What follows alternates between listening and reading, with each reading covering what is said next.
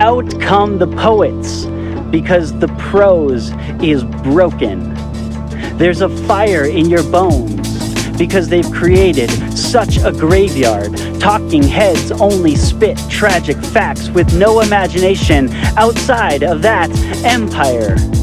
So at some point, you grab a box in a street corner and you paint vivid colors right on their walls for tired people who have forgotten art and have no muse for anything different.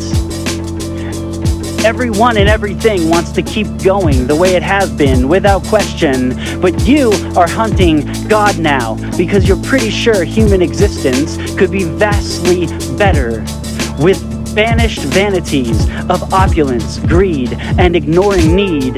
And on the other hand, it would take seven planets to go on like we are going.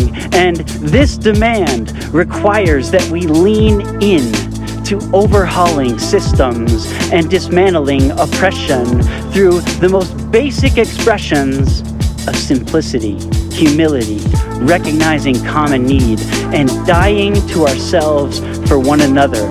For God's sake, be good to each other and draw some constellations that don't end in ekpyrosis. Because hell if I know what will be created or recreated. We are not fated to walk into the dark, defeated and slow. The whole world is a stage. Let's get a better show.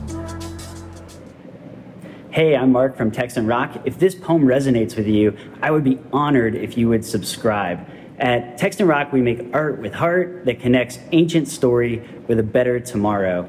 We believe a better world is possible, but it starts with you and with me and with the everyday. So help us get brave new ideas out into the world by clicking subscribe and sharing our videos with your friends on social. Be good to each other.